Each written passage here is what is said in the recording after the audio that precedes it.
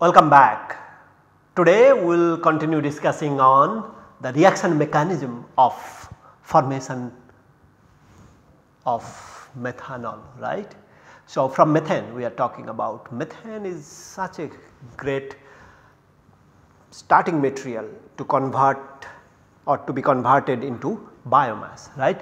So, methane to methanol is hugely important and very difficult transformation and we have seen in the last class that uh, these di-iron bis intermediate where iron is in plus 4 oxidation state, iron is in plus 4 oxidation state and oxide oxide is reacting with methane to give an intermediate or the in this case the first the transition state TS1 CH3HO where both bond making and bond breaking is happening simultaneously. From there we have seen the intermediate where CH3 and OH are, are interacting still with each other and subsequently a concerted pathway where CH3 and OH is intimately involved in the CH3OH molecule formation. This pathway so called concerted pathway is little bit energy demanding compared to the one the bound radical intermediate pathway. so, in the bound radical intermediate pathway we see the exactly same transition state where bond breaking and making is happening simultaneously. From there a distinct radical intermediate involving CH3 dot radical and oxohydroxy iron 4 iron 3 intermediate is forming. Now that I would say quite interesting. So what has happened over here this one of the iron center is iron 4 plus another iron center is iron 3 plus. Now the oxo is no longer oxo it is hydroxide HO minus 1 minus this is oxide O2 minus right. So iron 4 iron 3 mixed valent intermediate is formed along with the formation of the CH3 radical. This is what is IBR intermediate uh, intermediate uh, of this which is which is really preferred over that you see for IC intermediate for concerted pathway okay intermediate for the radical pathway is this one. This radical then can react with this OH of course the OH has to orient properly and of course uh, we will see in a moment that this uh, rearrangement or the electronic uh, reassignment has to be done. Some electron spin has to exchange. Overall we will see that uh, that this CH3 and OH once the OH is properly oriented and ready to react with the radical HO is HO minus that means 2 electrons are there. So 2 electrons over here 1 electron over there is not going to be a radical mechanism. So this double electron has to be a single electron by transferring one of them to the to the iron center and this is where this iron iron iron intermediate will come into the picture and this OH radical and this CH3 radical will combine with each other right to give the CH3OH. Let us look at this pathway which is the preferred one in little bit more detail. As you see the energy levels are not too high it is achievable and these reactions are uh, achievable at 20 degrees C uh, at nearly room temperature or less than room temperature at pH 7. So, to be able to convert methane to methanol at room temperature at pH 7 I think is, is phenomenal right. This is quite exciting such a transformation remained very difficult to do even for, for the synthetic setup enzyme can do it perfectly because everything all the active site is perfectly. We will look at these steps how methane is approaching this intermediate Q how this transition state is forming, how these intermediates are and how the next transition is forming and subsequently the overall product formation is happening in the in the uh, by the DFT studies in a little closed manner. Okay, so this is your methane is approaching the intermediate Q. So you see these two intermediate these two iron centers are iron 4 plus 4 plus oxide oxide and rest of the cycle or rest of the uh, ligands are as as it is as in the as in the in, uh, as in the um, active site. So, you have iron sites oxo oxo and the methane This approach or this is set as 0 because this is when it is going to come and start reacting. So, this is set at 0 kcal and we are going to look at this overall hydroxylation of methane to methanol by this non-heme diiron enzyme. Okay. Subsequently, this is the transition state that we uh, that we discussed where CH bond breaking and OH bond making is happening. Okay. The electron transfer in this state, electron transfer from this CH bond, CH bond, electron transfer occurs and determines the barrier height. Here it is 17.9 kcal per mole which is okay right which is achievable uh, at, at 20 degree C. So, this is the highest energy demanding step and this is the step why we do see kinetic isotope effect when we displace CH4 with CD4. If these are deuterium this CH bond breaking becomes further slow because this is the one which is the most difficult step to carry out CH bond breaking and OH bond formation this is the corresponding transition state. CH4 versus CD4 will give a kinetic isotope effect value of nearly 22 as you have seen earlier. Okay. During this process one of the two iron centers will be reduced to iron 3 as this OH bond is formed. This is the transition state by the way not the intermediate. So, this is the structure looks like in this transition state.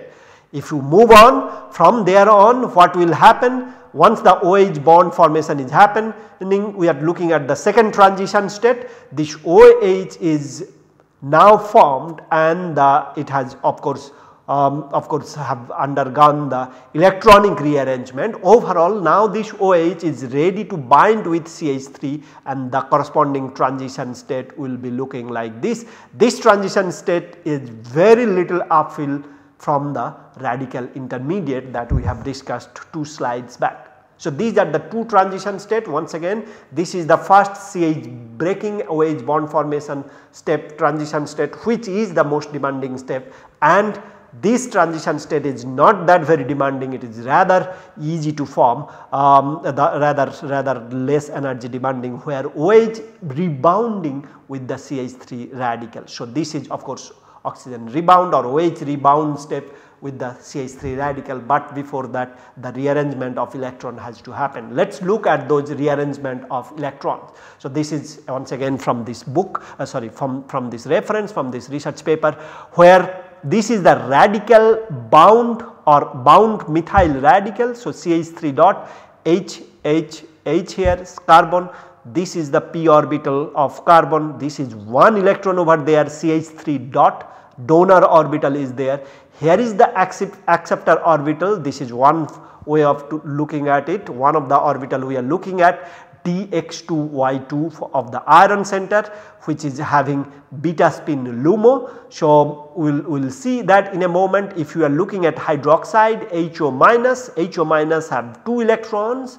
And so the 2 paired electron one up up another down. This uh, this doubly occupied intermediate or doubly occupied state then will, will, will transfer one of the electron from here to the iron center right. Let us look at that. So, this is not really this OH minus and this double electron is not going to react with the with this CH3 radical. That very easily this OH also has to form the radical. That means only one electron should be over here. Another electron should go go somewhere most likely in this in this in this uh, in this iron center. We will see that in a moment. So, what you need to do you need to overlap. So the rotate this p orbital or rotate rotate overall over here to, uh, to, to do the bonding between these d, d, uh, d orbital of the iron center let us say iron 1 center and subsequently one of the electron from here will be transferred to the uh, to the LUMO metal based LUMO and then you left up with one down spin beta spin one alpha spin on the OH and the beta spin on, on the LUMO of, of the iron center. So, what has happened the alpha spin over here uh, is now reacting with the beta spin of the radical to form the CH3OH bond. So, these will form the new bond and then there is the one electron reduction center from the iron center making it from iron 4 to iron 3. So, this HO rotation, this rotation promotes intramolecular beta electron transfer. So, intramolecular beta electron transfer from the oxo lone pair orbital to the metal based LUMO. So, this is the metal based LUMO. So, oxo lone pair to the metal based LUMO this transfer is happening. The remaining radicaloid that is over here after one electron transfer the remaining radicaloid alpha electron on the bridging oxo group uh, has the correct spin now to recombine with the beta electron of the uh, of the sigma um, of the CH3 radical and these two now will form the sigma bond. So, what is essentially happening from here if you look this is the CH3 radical, this is the di-iron center, this is the beta spin LUMO or that means DX2Y2 orbital for the iron 1 center, we are not looking at the iron 2 center. If you are looking at OH 2 electrons over there it, it will has to have to rotate. In any case this is the 2 electrons. so this is single electron, this is 2 electron it will have to rotate. One of the electron has to the beta electron has to, to be transferred to the iron center and this is what you see over here the alpha spin uh, sorry the beta spin and the alpha spin upon rotation and transfer of one electron from this OH to the iron center gives rise to a situation where OH radical is there and the CH3 radical is there. Now these two radical will combine to form the sigma bond. So we have seen how CH4 to CH3 radical and CH3OH bond is forming. So, overall this is this is the diagram where you started as we have seen with the bis oxo species so called the Q intermediate and this is the Q star intermediate. Q intermediate reacting or approaching methane is approaching towards this that is set to 0 and this CH bond breaking and OH bond formation is happening. So, CH bond breaking and OH bond formation is happening. You are uh, having a transition state right over here. This is the most demanding transition state 17.9 kcal per mole where if you have the CD4 you will also get the same thing but it would be significantly uh, significantly slower and then therefore you will see that the C H3 radical and OH is now formed. O this hydroxide still has to form the OH radical and that is what is happening over here. OH radical is formed and CH3 radical is over there. So, they will combine this is not that very energy demanding step and this is when they will combine with each other and will give you the CH3OH bound intermediate that we have seen earlier. So, to summarize simply in this case what we have seen that a di-iron mu oxo intermediate is approached by CH4 radical abstraction or you see that CH3 radical formation or OH formation is going on between the iron two centers. From there on electronic rearrangement has to happen to give you the hydroxy radical and then you also have the CH3 radical ready they combine to give you the product that is all nothing else is there. Okay. So, if you are looking at CH4 by versus CD4 that we have seen that this is having a, a high kinetic isotope effect value nearly 22. Quite surprisingly if you are changing the methane substrate from methane to ethane just change of substrate methane to ethane and if you are studying this enzyme you see that there is no kinetic isotope effect value between C2H6 and C2D6. Here CH4 versus CD4 you have a huge difference in the reaction right right. Over here C2H6 versus C2D6 which is ethane versus deuterated ethane there is no difference in, in, in the uh, in the kinetics data or KOBS data. So, this is quite amazing right for ethane the rate determining step therefore is not the CH bond activation step. So, what we are trying to tell here is the scientist has now figured out quite phenomenal uh, observation and that is methane and ethane reacts completely differently or at least the intricacies of the reaction mechanism are different. In case of methane CH bond activation is the rate determining step. Can you imagine that? And just you change from methane to ethane CH bond formation is no longer the rate determining step. You do not have a kinetic isotope effect value at all its kinetic KIE is 1 although the K obs is same which is which is fascinating I would say. So, for methane hydrogen atom abstraction is rate determining for C2H6 the binding the approach the C2H6 is approaching the Q the diffusion control is happening. so, the binding of the ethane with respect to the to the Q intermediate Q is important. See this is how nature has evolved in such a way the enzyme is designed in such a way overall enzyme pocket uh, the approach road is such that it just fits methane perfectly okay. If you want to fit in ethane that is also not possible and this is why one should realize that although nature is really great but nature is only designed for one substrate and this is also true why we have such difficulty in synthetic setup in mimicking this chemistry and more importantly having a broad substrate scope for this sort of this sort of active site if we are able to mimic in synthetic setup. Because nature can do it for one substrate but synthetic chemists want every substrate over there. That is not even nature has done it right? That is going to be even more challenging. That is why synthetic methodology development or catalyst development for a wide variety of substrate is always going to be challenging.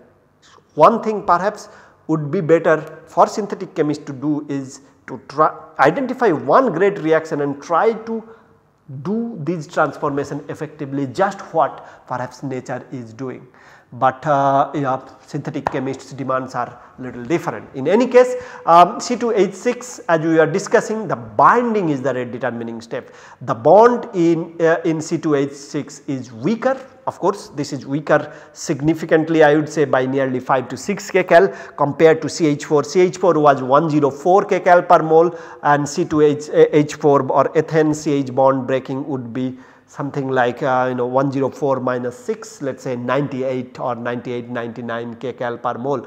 So, this is also saying that CH bond dissociation is not the rate determining step uh, that means CH bond dissociation is relatively easy indirectly saying this is also can be proved by experiment and theory. In any case uh, the CH bond dissociation is not the rate determining step but the approach approach of ethane a diffusion of ethane to the uh, intermediate Q is the rate determining step, but for methane diffusion was not of a problem, but CH bond breaking was the problem right. For ethane you can see that the approach of ethane towards the Q is problematic or the most demanding.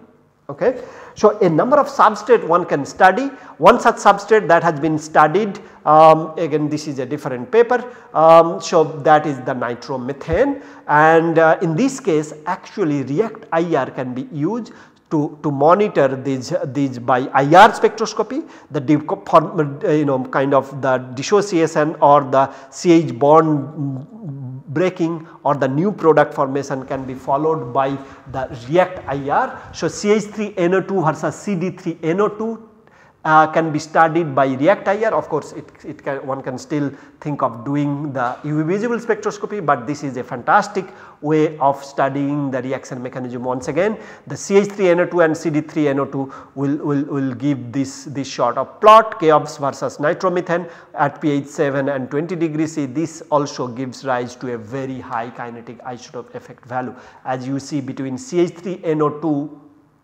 which is faster CD3NO2 is significantly slower. Okay. So, this is not by UV visible spectra study, but by, by but by IR study you can follow the kinetics of this reaction with respect to the concentration different concentration of CH3NO2 the study is done similarly as we were seeing for, for intermediate Q and then change the CH3NO2 to CD3NO2 and vary the concentration of CD3NO2 you will get the plot as is over here. Overall many different substrates are studied okay?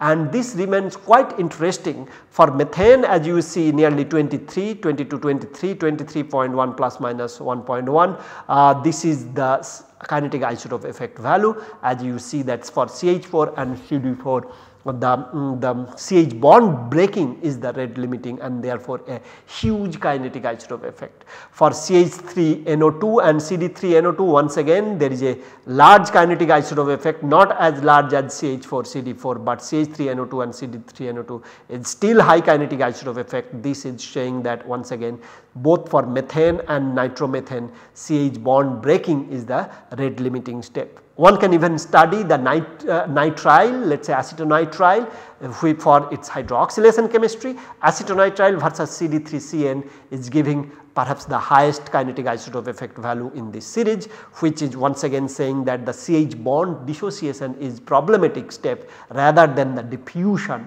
which is which is happening uh, in the other case this is the diffusion control process. Now both for uh, all for methane acetonitrile and nitromethane it is a significant kinetic isotope effect value indicating that these are the substrate wherein CH bond dissociation will be the rate limiting.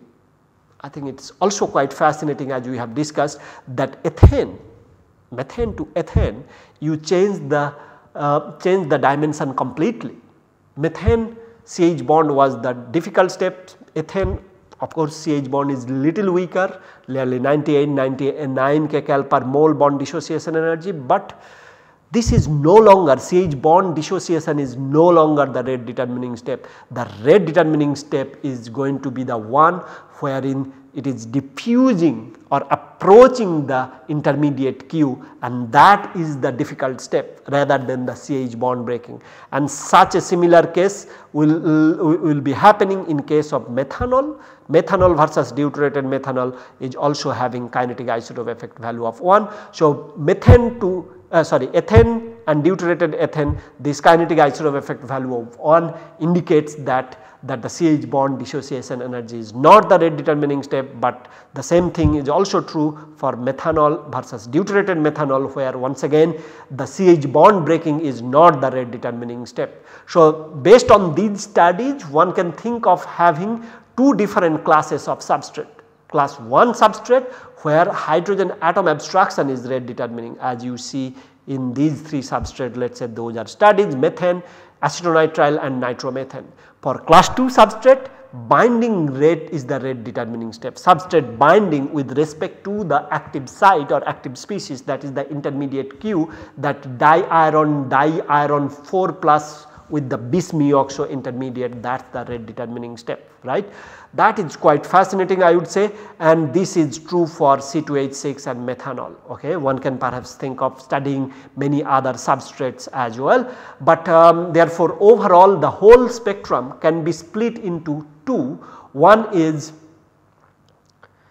substrate 1 category 1 and the category 2 but I think you have seen the power of these reactions or power of this active site and that is this bis mioxo species are capable of forming the, the great the great uh, methane to methanol.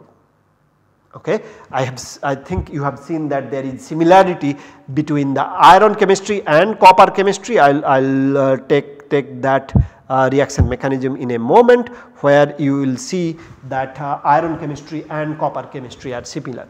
So, let, let me let me divide. So, let me try to draw the copper chemistry what you have seen in case of copper chemistry you have seen uh, that copper copper oxygen or superoxo species is forming from copper 1 right. So, this is I am drawing copper 2 okay. So, you have taken copper 1 reacted it with oxygen right. So, one electron transfer happens to give you that and from there on you have seen another copper can come in copper 1 can come in to give you copper 2 O O let us say copper 2 I am deliberately drawing that as an end on um, that will be easier to follow and from there on you see the one electron breaking from there and one electron from there another electron from there uh, will, will give rise to the copper 3 intermediate right copper 3 bis-mu-oxo intermediate. So, this is oxygen 2 minus this is oxygen 2 minus right. So, similar thing you have seen in case of iron iron 2 plus let us say let me draw the similar intermediate iron 3 would be there similar looking intermediate if we are trying to draw iron 2 is reacting with oxygen right. So, if we start from copper 1 we start from iron 2 it is a iron 3 superoxo and from there on uh, another iron 2 can come in although this could be a side on geometry just I am drawing as an end on just to keep it clarity iron 3 can form. Now this iron 3 intermediate can then once again give 1 electron break homolytically and this can give 1 electron, this 1 electron and this can give 1 electron overall you can 4 form iron 4 bis-mu-oxo species. Now you do the see the similarity. So this is a copper 3 copper 3 bis-mu-oxo intermediate over here you have a iron 4 iron 4 bis-mu-oxo intermediate. Only difference is 1 electron okay. We start with copper 1 we start with iron 2. So we go to copper 3 we go to iron 4 right that is very simple. This is why uh, you can see that these species are very reactive and can, can effectively do a very great chemistry and these are of course can do many chemistry as you have seen as you have seen over here here you can you, you can react methane to give methanol. There are copper enzyme also which is responsible for uh, for these methane monooxygenases these are the chemistry and these are the studies which are ongoing the detailed understanding are still not 100 percent clear. Okay. I will not divert too much right now, we will come back later with the summary between the copper and the oxygen similarities and summaries between them in, in some, some classes later. Let me get back to where we were discussing and that is these are the class 1 substrate and the class 2 substrate we have seen and these are the two different types of substrate that we have seen over there right that is fantastic. Now let us look at the overall program then. So this is uh, once again from, uh, from, from Professor Lippard's note where we see that that the first case if you are looking at methane that is in the um, that is in uh, that is in the black here. So relative free energy if you are if you are looking at the black one where it is showing that this is not really the high energy this is diffusion is not the rate limiting of course this is energy demanding but not too energy demanding but if you follow the black line black line is having the CH bond dissociation is as the rate limiting phase and then the hydroxylation product is forming. In case of ethane that is in red you follow the red line here red line is very up uh, so, this transition state where the diffusion barrier is quite high on the other hand CH bond dissociation energy of course is energy demanding but not too very high. So, this energy is much higher than this one. So, that is why this diffusion is the rate limiting the CH bond activation is not the rate limiting. In case of methanol the blue line over here once again you see the, the, the in case of methanol which is a uh, which is which is uh, the class 2 substrate if you have forgotten methanol is the class 2 substrate here you see that um, diffusion is far more energy demanding it is very high energy. Of course CH bond activation is also demanding but compared to the diffusion it is less energy demanding so diffusion is the uh, controlling factor over there. In case of in case of nitromethane as you have seen CH uh, this nitromethane diffusion is not too much of higher energy but but this CH bond dissociation is high energy. So, as you can see over here um, so this relative energy uh, plot. So, let us say just for methane uh, methane if you are looking at uh, that is the black line over there. So, this is the diffusion energy compared to methane uh, the CH bond activation energy is quite high as you see over here.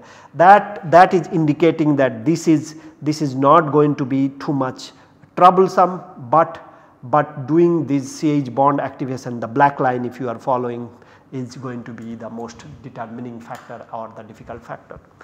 So, to conclude um, for this methane monooxygenase I think um, you know we are very lucky to have such a great enzyme where you have non-heme di-iron center in the very high oxidation state iron 4 iron 4 in the bis-mu-oxo bound intermediate which has similarities between the copper 3 dicopper 3 bis-mu-oxo intermediate but more importantly it can convert methane even methane to methanol. All other substrates are I would say relatively easier all not all but most of them are relatively easier. There are two class of substrate that you can study with respect to these uh, methane monooxygenase one is class 1 or substrate class 1 another is substrate class 2. Substrate class 1 is the one where we see that kinetic isotope effect value is more than 7 or you know significant kinetic isotope effect value is there.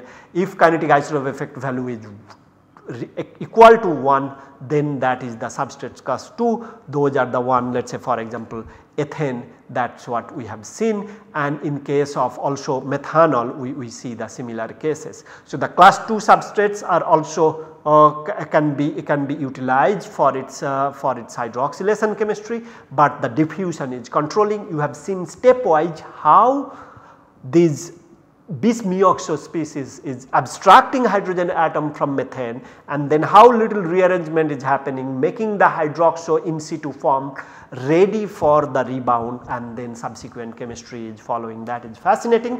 We will come back with uh, much more chemistry in the subsequent classes. I hope you are studying these in detail and also we will summarize them to make it a little bit easy and compare com contrast among the different enzymes so that you can you can follow well in the uh, in the exam. Thank you very much see you in the next class bye bye.